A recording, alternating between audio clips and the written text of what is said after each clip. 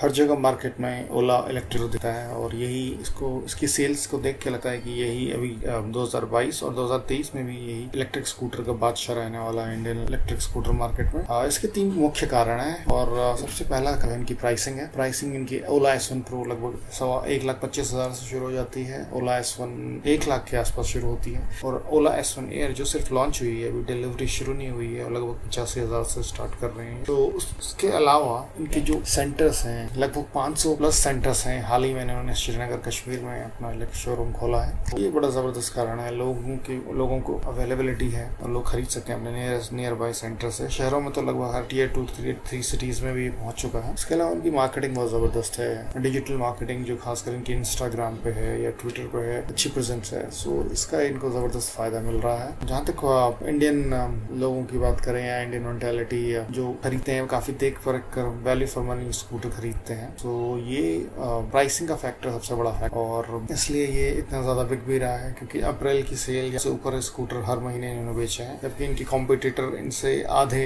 आधे के आसपास स्कूटर बेच रहे हैं। लगभग सात हज़ार, आठ हज़ार जो टीवीएस और एथर है। तो आप इससे अंदाज लगा सकते हैं ये कितना ज़बरदस्त तरीके से मार्केट को इन्होंने कैप्चर किया हुआ है। और आने वाले समय में 2023 में भी ये पूरी तरह से कैप्चर करेंगे जब ओला एस वन एयर आएगा और इनकी लगता है कि तीस हज़ार प्लस पर मंथ सेल्स जाएगी या उससे ऊपर भी जा